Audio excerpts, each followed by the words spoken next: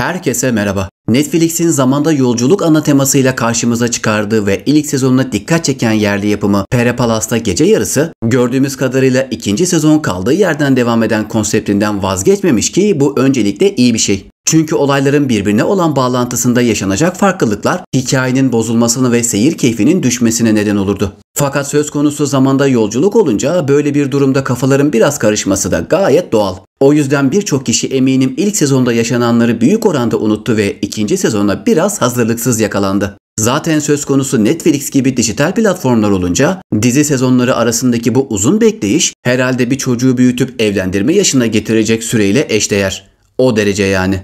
O yüzden şimdi öncelikle ilk sezonun gerekli kısımlarını kısa bir özetle ele alsak iyi olur. Ardından dizinin zamanda yolculuk mantığını konuşalım ve ikinci sezon incelemesini yapalım. Neden korkuyoruz?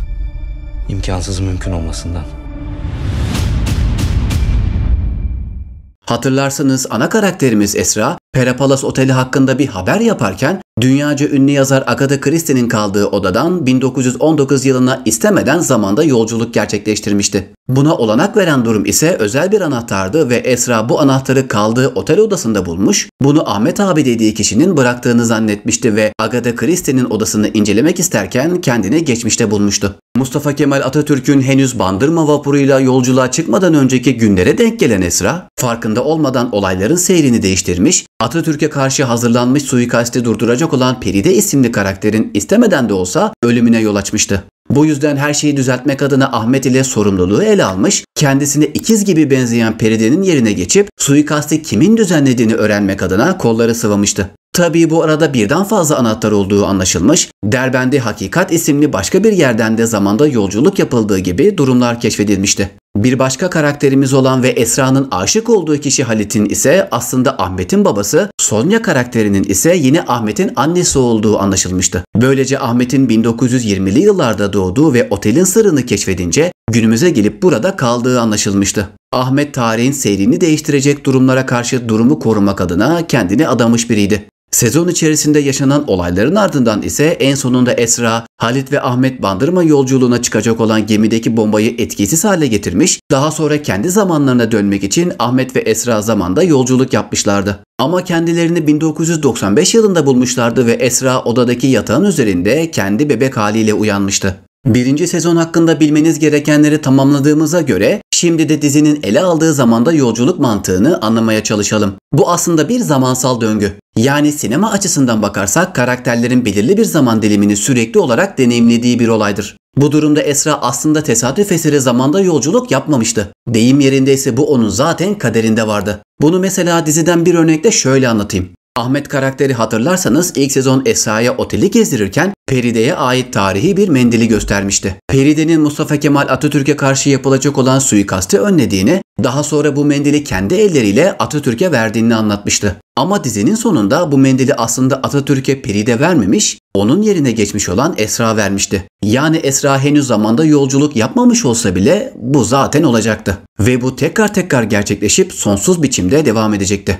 Bu yönüyle zaman yolculuğu dizi içinde sinemaya göre belli bir mantığa oturtulduğu için ben bu kısmı başarılı buldum. Öyle ki bu mantıktan vazgeçmeden zamanda yolculuk döngüsünü ikinci sezon devam ettirmeyi ve hikayeden kopmadan bağlamayı iyi başarmışlar. İkinci sezonu şimdi öncelikle spoilersız biçimde ele alırsak ben genel hatlarıyla bu sezonu sevdim. Aslında eksikleri olsa bile ben önceki sezonu da sevmiştim ama yeni sezon biraz daha hareketli bir tempoya sahip. Aynı zamanda ana karakterlerimizin harekete geçmesi adına öne çıkan motivasyon da tatmin ediciydi. Diğer yandan ilk sezonda olduğu gibi bu sefer yine dönemin atmosferini, konseptini, kıyafetlerini ve genel çekimleri oldukça başarılı şekilde aktardıklarını söyleyebilirim. Zaten benim bu dizide en çok sevdiğim kısım emek verilmiş olmasıydı. Başta senaryosu için oldukça kafa yorulmuş, her sahnesi detaylı şekilde ele alınmış ve zamanda yolculuk gibi karmaşık bir durumun üstesinden gelmeyi başarmışlar. Genel itibariyle bu konuda herhangi bir yanlış ya da hatalı bir noktası yok. Seyir keyfi olan ve sıkmayan temposu, kahramanlarımızın devamlı yeni bir durumu çözmek için ipuçları bulması ve bunu takip etmeleri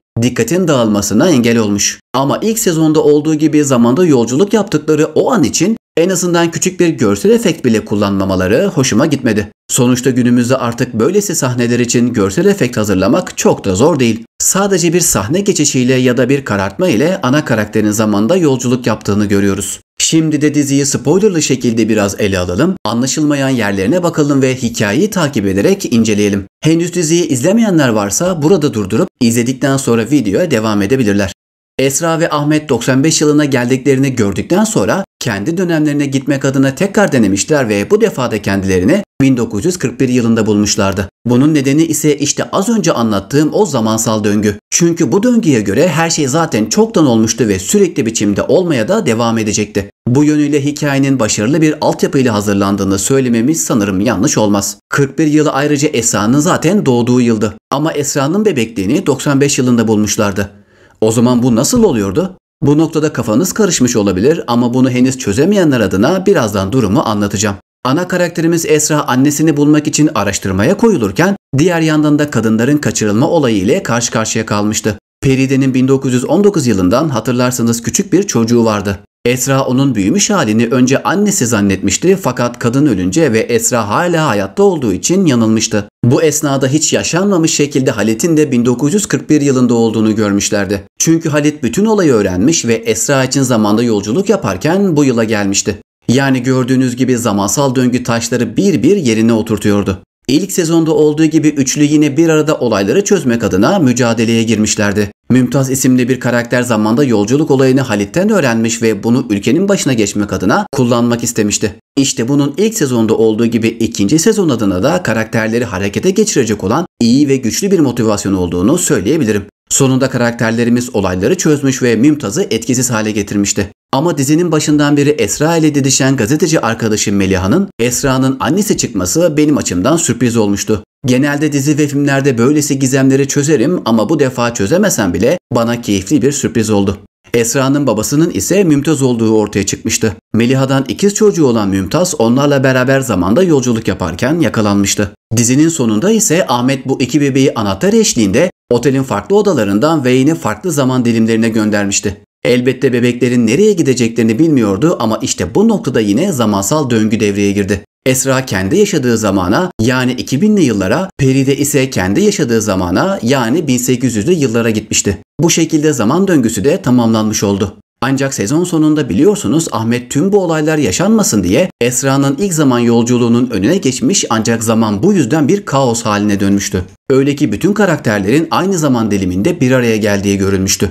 Yani burada döngünün kırıldığı düşünülebilir fakat zaman çok karmaşık bir yapıdır. O yüzden bu da belki yine döngünün bir parçasıdır. Bunu 3. sezonu öğreneceğiz.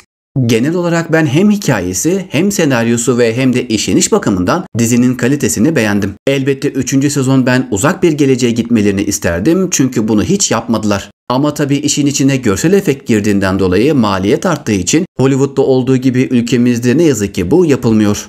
İzlediğiniz ve dinlediğiniz için teşekkürler.